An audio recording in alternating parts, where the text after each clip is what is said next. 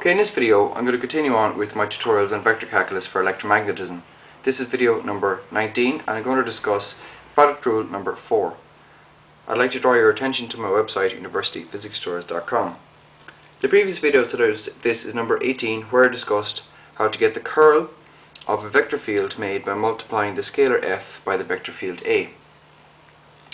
And uh, the reason it's important I think for you to watch this video is the thought process. I'll be using the same thought process in this particular video and uh, you know it's it's it's kind of an incremental thing. That's why I've done the videos in this particular order.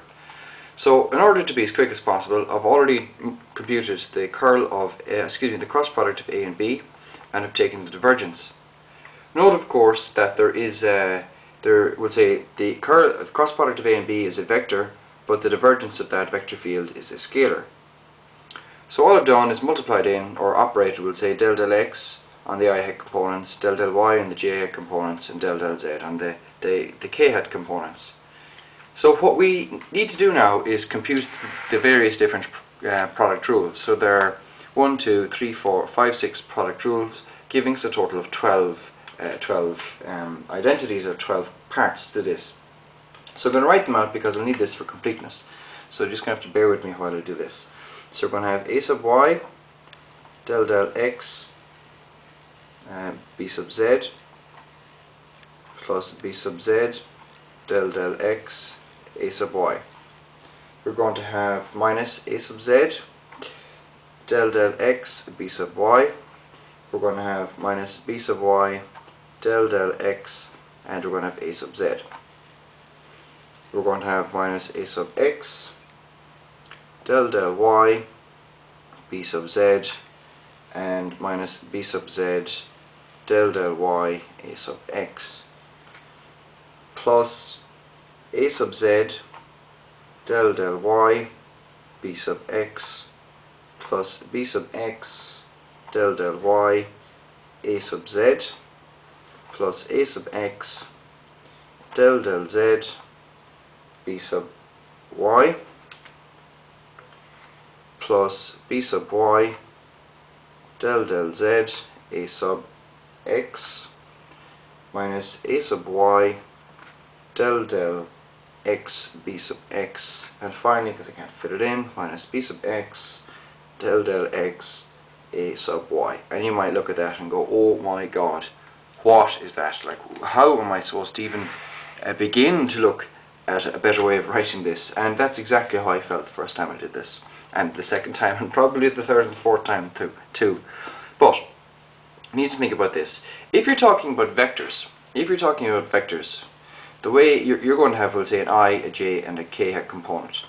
The way to do it is to isolate them in terms of i, j, and k.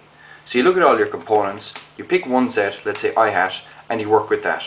And by symmetry, it'll work for both j hat and k hat also. But when you're talking about scalars, and this is an actual is a scalar field, you're not. So you're you're not. We'll say the you're not going to apply looking at all the i hat or j hat or k hat components because you can't.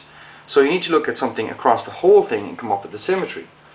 Now with this 1, 2, 3, 4, 5, 6, 7, 8, 9, 10, 11, 12 terms, how are you supposed to even begin looking at these?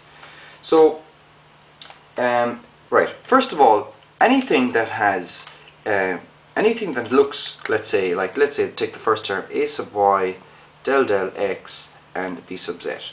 Now, to me, that immediately seems in some way to be a dot product. It seems to be dot product between a sub y, so a sub y dot something else. Alright, that's what it seems to, to me.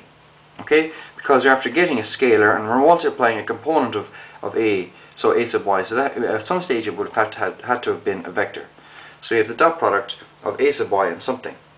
Now what, then we have this ddx b sub y. So that could be a lot of things. It could be the it could be grad div or curl. So how like what what do we do? So what I'm going to suggest is as follows: that if we look through this, we can find some terms are multiplied by components of a, right? So some terms are multiplied by components of a, and some terms are multiplied by components of b. So there seem to be two different dot products going on here one with the vector A and, oh, and one with the vector B and something else. So let it, let's just rearrange these or collect all the terms where it seems to be a dot product with A and collect the rest of the terms where it seems to be a dot product with B.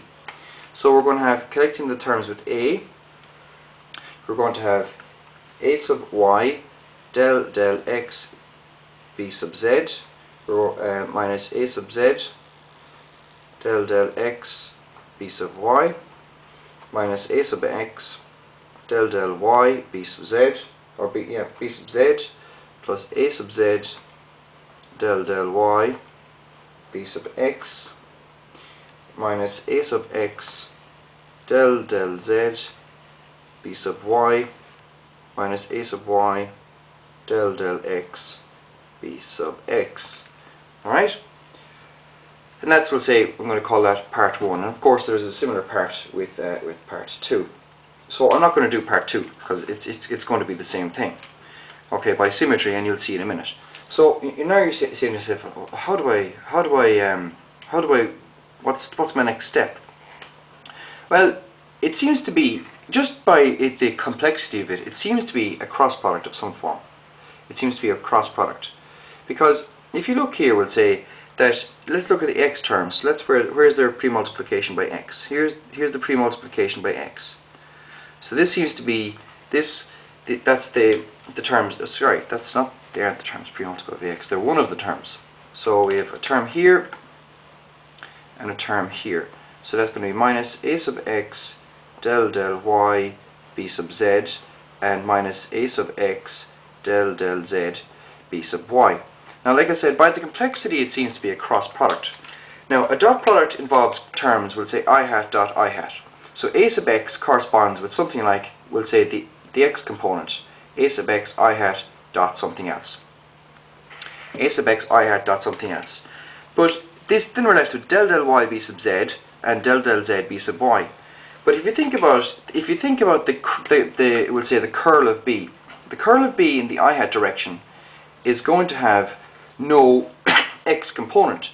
And if you look, if you actually compute it, you'll find it, is exactly del del y b sub z minus del del z b sub y. Uh, so that if, if you look at it, now this minus term here, I'll, I'll talk about that in a second. But, so I'm going to leave it in there for a moment, right? You'll find that in the i-hat direction, for a cross product, you will have no x component, which is exactly what we have here. So it seems that we have, in actual fact, got the curl of b. So if you go ahead and on a separate sheet of paper, and I've done it in a previous video, compute the curl of, the curl of b, what you'll actually find is that what we have here is minus a dot the curl of b. The curl of b. That's what we have here.